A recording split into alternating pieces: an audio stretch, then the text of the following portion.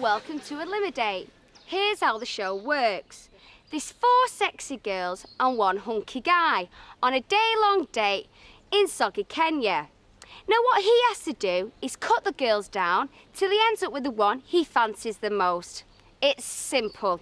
And in part two, we do it all over again. But this time, four hunky girls and one very hot girl. I said girls bye tonight. now.